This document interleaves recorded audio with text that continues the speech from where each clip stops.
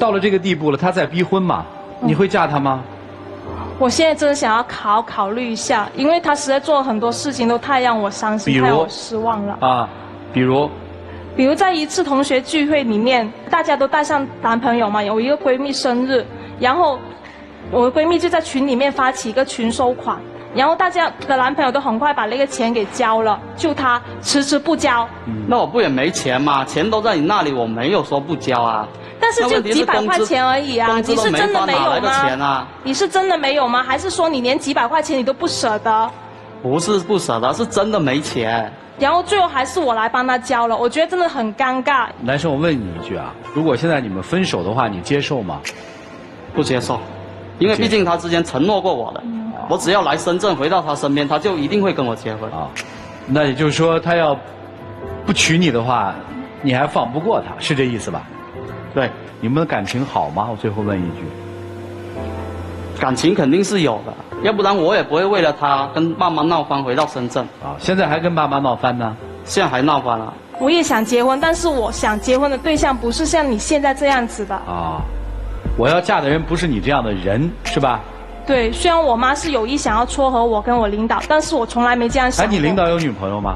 他没有，就他故意还不避嫌。本身我们就因为他，我那时候才回从深圳回老家发展的。明白了。他就老闹跟人家对比，就始终觉得我能力不如人家，人家确实是比我强。别那么自卑。所以你今天来就是想听听老师们给你分析分析到底怎么回事儿，是吧？对有些话可能女生也不方便说，帮着点破吧。来，一起进入丘比特问卷。从开场到现在，你说了好多遍哈，你为了结婚，那我问你个问题啊，你别介意啊，兄弟。啊你为了结婚，那你有没有问过对面的这个女孩，人家凭什么跟你结婚？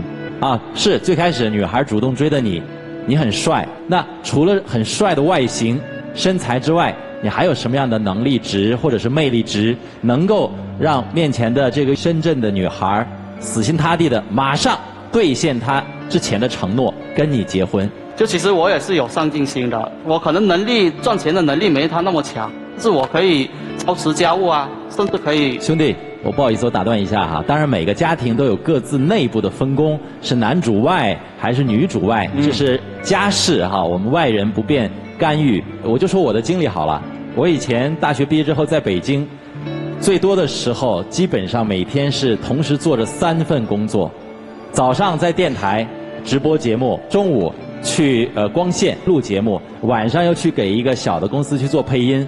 我经常在地铁里睡睡睡睡睡就睡过站了，因为太累了。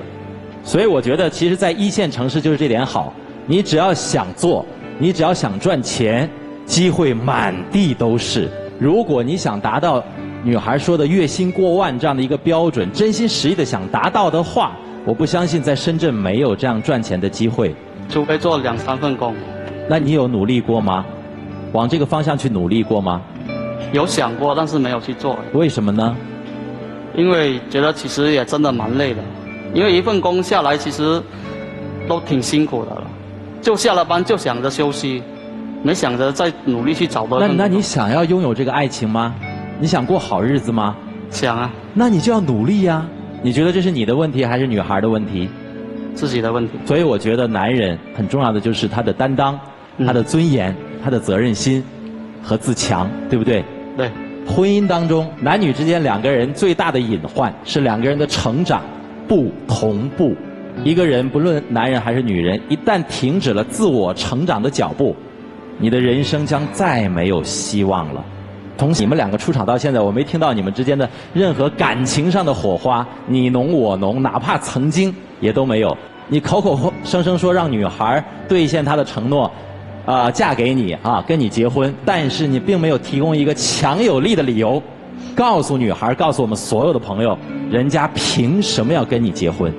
所以从我的角度来讲，兄弟，我觉得你不能怪这个女孩，也不能怪她的妈妈。你现在有能力，年富力强，好手好脚，在深圳这样的一个遍地机会的城市里面，你绝对可以打拼一番事业，干出一番你自己的这个事情。永远告别月薪在四五千这样的一个阶段，轻而易举。只要你全力以赴的去努力，好不好？好，加油啊，兄弟，加油！好，谢谢雨东啊。